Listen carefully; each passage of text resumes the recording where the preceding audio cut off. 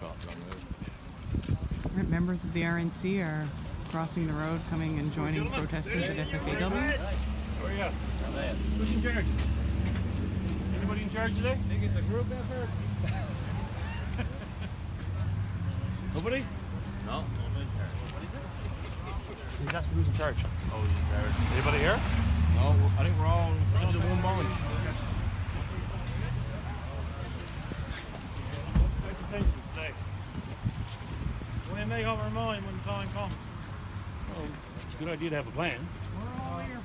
We're waiting for a meeting, buddy. We're waiting for a meeting from the union. Yeah, we make, make some phone calls now to some people. That's all we want. And to see if, a see if they can come up for you. We're making phone calls there now, so if We're you give me a little while. and if you fellas been went through what we've been went through in the last 20 fucking years, you'll be doing the same fucking thing. No difference. Right. So we're making a couple phone calls now, see if those individuals will come speak to you. So give me a few minutes to see if they call us back or not. I'll get back to you shortly It's our we hear building. We them. was just going to go and sit down, but I mean, they shouldn't have locked us out when we come. We only went in and sat down. It was, it was a peaceful We, we was here on a peaceful demonst- demonstration until I mean said he locked us out, so I don't know what this is going to escalate into. You understand that there's no one in the building, right? Yeah. That don't make no difference. You Well, we understand? don't know what the others could do Just one but I thing, They were in there. They can come, they can come to the building and have a meeting with us. That's all we're asking for a meeting, right?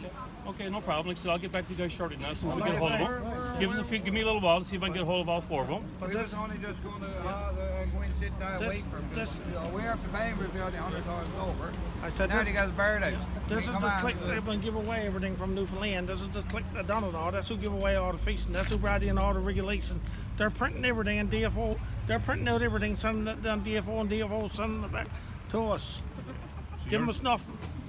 you're the spokesperson here today. No. I'm not spokesperson here. No, I'm here with the with the crowd. I'm just a bystander with the crowd. All right, I'll be back shortly now as soon as we get a hold of them. Let me know until I get home. hold of them. and I'll And I get back don't, to I don't mind shortly. speaking up when nobody else ain't got the fucking guts to speak up. I'll, I goddamn well speak up. It's no problem. All right, so we'll get back to you shortly, If we don't, go Thank what you. about now we house door now we're going in our own building? What happens? Will we, uh, you know, we have to order about 50 or 60 stack packs for the safety, but, You have no right to go into the building.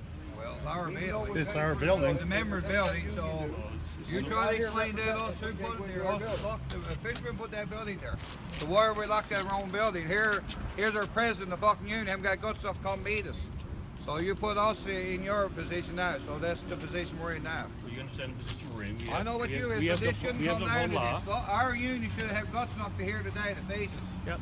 Understand. We're Yeah, trying to get a hold of them, so just give, peaceful give me a short time here right? now. Give me a little while to back.